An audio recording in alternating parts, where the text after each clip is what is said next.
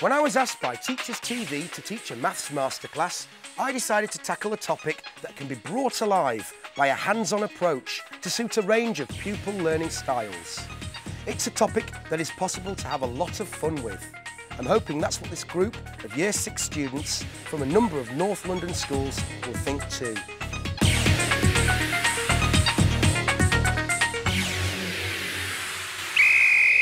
Who loves football? Yay!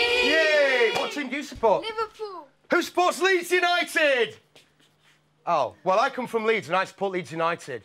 Boo. I was expecting some boos. Oh, well, I love Leeds. This is a football pitch. It's got lots of different shapes on it. What I'd like you to do is pop your clipboards down and all come up and stand on any area of the football pitch that you like. Come on, on.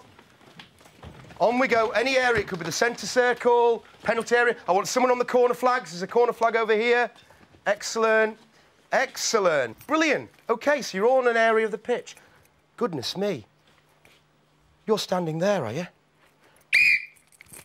Red card, you're off. Sit back down. Disgusting. And you're standing on there, are you? Red card. Corner flag. Red card, off you go. And you, Tarjana, off you go. Alex, Max, Mohammed, you're all off. Ah, now then, we've got one, two, three, four, five, six, seven people. Why have I left these people on? Well, go on. They're all standing in rectangles. They're all standing in rectangles, sort of, but this shape here isn't quite a rectangle, is it? But it is made up of straight lines, straight sides. Anyone who was standing in a shape that had a bit of curved line on it, I sent off, didn't I? This quarter circle is made up of two straight lines, isn't it? And a curved line. And I sent you off. All of you that are left on the pitch are standing in polygons. Hadtha, you weren't standing in an area that had all straight sides. How do you feel? I'm very disappointed that I couldn't stay on for the rest of the match and I blame no one but myself. Sarah, I thought you'd be playing for England, and yet you haven't stood in a polygon. You got sent off. How do you feel? I feel so disappointed and very ashamed. I, but I'm just going to keep boosting up my confidence and potential. So, Mohammed, you were sent off too. How do you feel? I can't believe it. It's, this is a disaster. A polygon is a shape with all straight sides, and there's lots of things you can do with polygons. In fact, on your clipboards, you've got polygons in front of you, haven't you? Take a rectangle. A rectangular piece of paper. That's a polygon. No curved sides at all in sight. But they're not all equal, are they? No. no, but it's still a polygon. That's cool. What I'd like you to do is get this paper, and you might want to tear it, or you might want to cut it with your scissors. I want you to make a hole big enough in this polygon, big enough in this piece of paper, to fit right over your head and right round your body. A hole. Can you do it? You've got 40 seconds. Go. Fold it. It's got to go right over your head and right around your body. It's impossible. Is that what you said? Nothing's impossible. Oops. Fit it through. Don't break it. Got to go right over. Go on, you can do it. right over. Oh, lucky. Now, I've got an easier approach a much easier approach, and I can make a much bigger hole than you did. So it's easy to fit round. OK. Another piece of paper. This time you will definitely need your scissors. Fold your piece of paper, hold it landscape, like so. Yep. Fold your piece of paper in half. Can we manage that? Hold your fingers somewhere in the middle, like that. Grip it tight. Then cut down towards your fingers and stop when you get to your fingers. So you're going to snip it in half, but you're going to leave a good centimetre or two there, look. Each half, I want you to cut into thirds. So two more cuts. One, two on one side, OK? But leave a centimetre or so gap. And three more wiggly bits on the other side. So we should have, looks a bit like a crown, doesn't it? You see that? Six wiggly bits. Open it out. We've actually got four fingers stuck inside. Can you see? One, two, three, four. I want you to snip OK, the ends of each of those fingers. Watch carefully before you start snipping. Start with your first finger and snip it from the top across. Instead of cutting the next one from the top, cut that one from the bottom. So you've got a wiggly finger, OK, but it's hanging down. back to the top. And then finally, your last one to the bottom. So you've got two cuts from the top and two from the bottom. So if it's worked, it looks a bit like sort of a crown with four fingers sticking up. This is the trickiest bit, but the last bit, right? Grab a finger, it doesn't matter which one. Grab a finger. This time, I want you to cut through the middle of the finger, but you've got to start from the edge of the paper. And you cut up through the middle of the finger and leave about a centimetre at the top. So, up to the top, OK? Last finger. Looking good. Almost to the top. Cool. You've got, if it's worked, a big hole. Now stand up and pass it through your body. Who managed it? Me. Put your hands up. Brilliant. Well done. Give yourselves a round of applause. Okay. Take another piece of A4 paper. Doesn't matter what colour. Okay. By doing one fold, do you think we could make this into another shape? Yeah. By folding that down. Shape? A square. A square is the easiest shape to make. If you fold the width onto the length, you do make a square, don't you? With a rectangle bit left. That rectangle bit at the bottom, I want you to fold that rectangle bit at the bottom carefully and then cut it off, because we don't need that, do we? All manage that? Flap it about? Yay! Hang on a minute, is this a polygon? Yeah. Why is it a polygon? Lima? Because it has straight sides. Four straight sides, and they're all The same. the same or equal. We call this, do you know? A regular polygon. Good lad. A regular polygon, okay, has equal sides and equal angles. No, angles. Got to spell angles right, or we'll come up with angels. Right then. Now, equal angles. So, hang on a minute. What do you think each angle in a square is? Well, that's easy, isn't it? It's a right angle and it's 90 degrees. Superb. Fantastic. Is that easy? Yeah. Really easy. Right. A harder question. Fold it from corner to corner to make a triangle. Yeah? Cool. What do the angles in a triangle add up to? Angles in a triangle. Does anyone know? Does anyone know? You should all know. Tara. 180 degrees. 180! The angles in a triangle add up to? 180 degrees. Does anyone know what sort of triangle that is then? What sort of triangle? Tajana? Isosceles. Isosceles. Can you spell it? I-S-O-S-C-E-L-E-S. Well done. She's got it right. Give her a round of applause. That's a really hard word to spell, but it's easy to understand. An isosceles triangle has how many equal sides, Mohammed? Two. What about the third one? Daniel? It's, um, it's either longer or shorter. Yeah, look. Look at that one there. Either longer or shorter. I think yours is longer, isn't it? Yeah. Yeah, let's have a look. That bottom side. Oh, it's much longer. So it's isosceles. Brilliant. Tell you what, fold it again. In half. Fantastic. What'd you get? Another isosceles. Another isosceles triangle. Yeah. Keep folding it. Isosceles triangles. Fantastic. Yeah. Open it out. Wow. Look at that. Now, when you open it out, look at all your fold lines. You've got a series of isosceles triangles, haven't you? They're all equal to each other. They're all equal in size and they're all equal in shape. Now then, does anyone know the word that we use to describe two shapes in maths that are the same in size and shape? It's a hard one, and it begins with C. Adtha, A congruent. congruent, very good. Congruent, isosceles, triangles. Wow. Start folding your triangles up again. I like to see those isosceles triangles. Come on, let's fold them up. Like yours. Come up here. William, I like yours. Come on up. Oh, you've got a really tiny little yellow one, haven't you? Oh, that's lovely, that one. So you coming up as well, Sarah, right? OK, now then.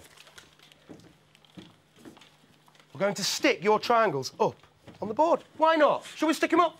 Why not? OK, let's stick them up. I'll stick mine up. There we go.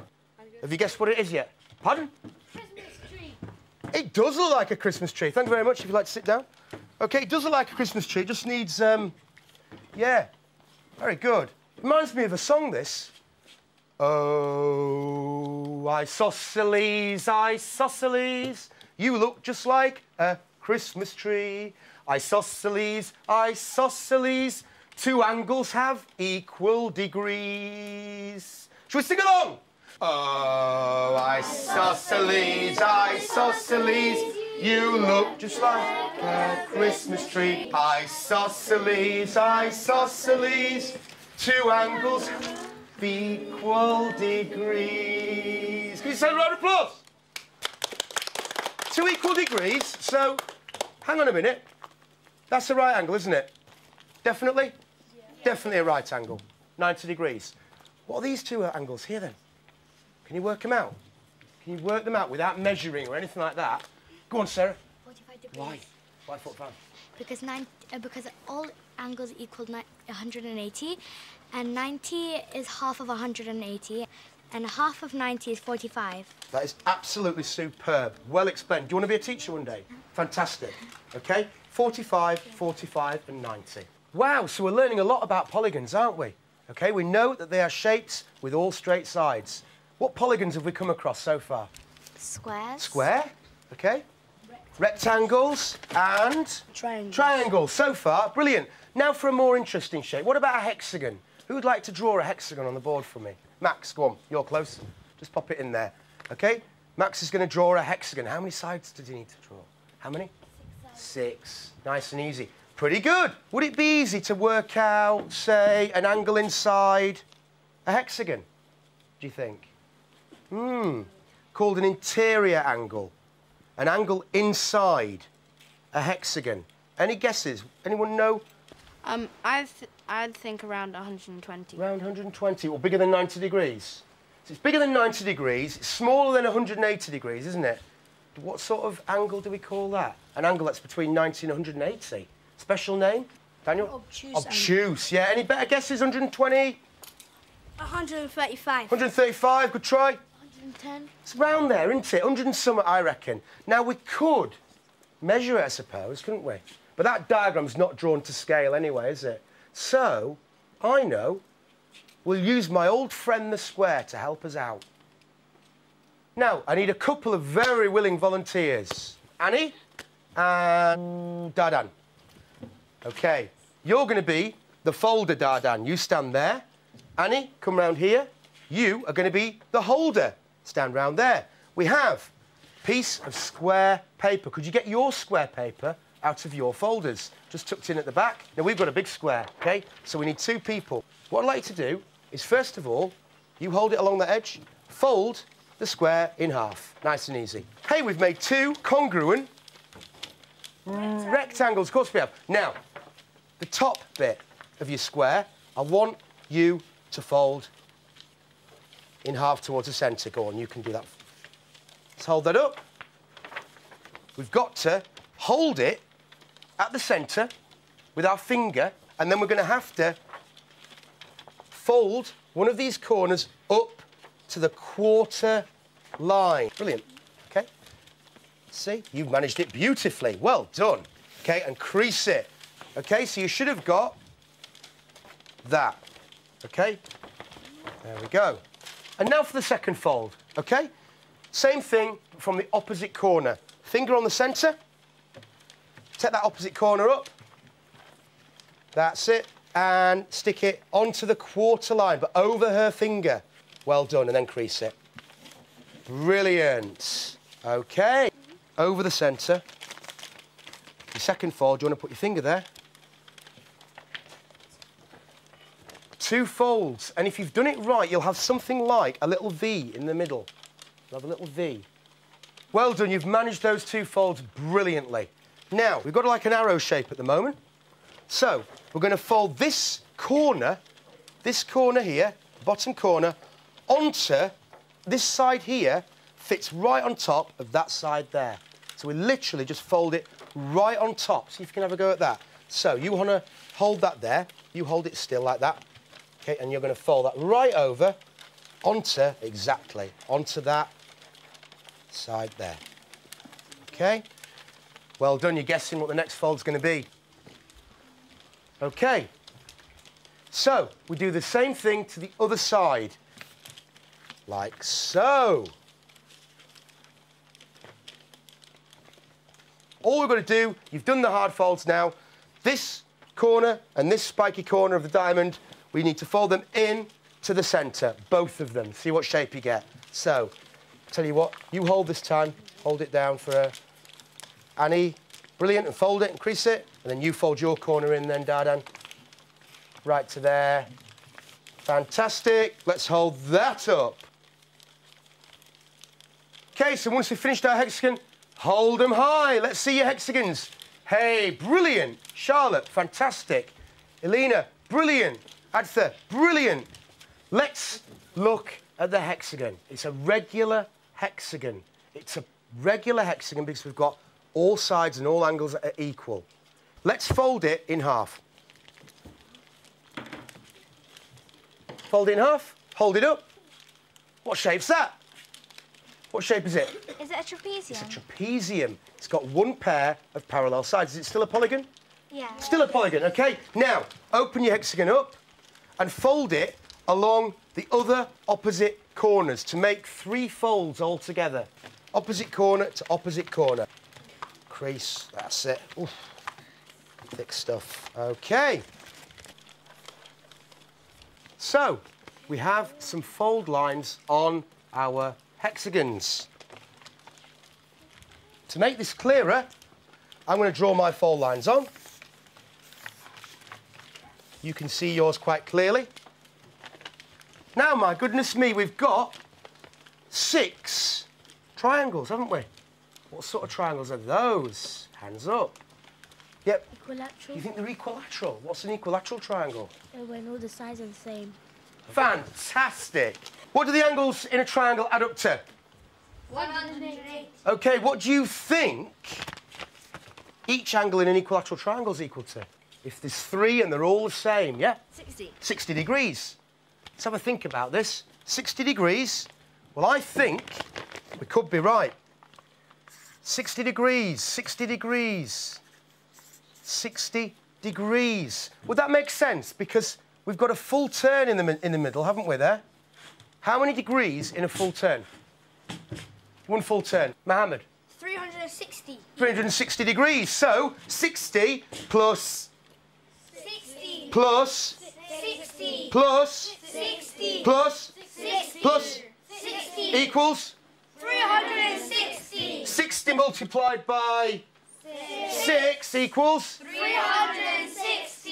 it works are all the angles 60 degrees six equilateral triangles so what is the interior angle of a hexagon another another clue what is the interior angle of a hexagon tara 120 degrees 120 degrees how do you work that out because that's half an angle is 60 degrees. Yeah. So if you double that, it's 120 degrees. Brilliant, 120 degrees. So, the interior, the inside angle of a hexagon, a regular hexagon, is 120 degrees.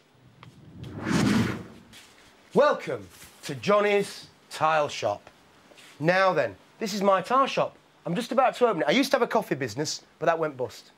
So, I've got a tile shop, and I want to make my tile shop work.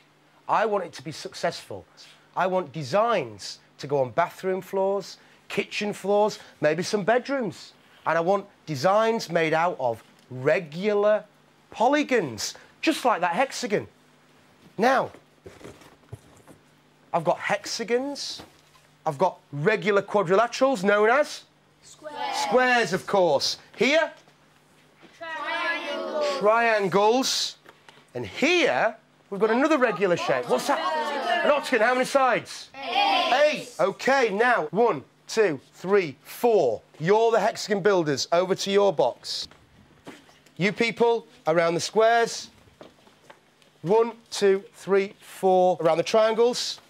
And you crouch around the octagons on the floor. Right then, before we start, I want you to design some patterns, but I want tiles with style.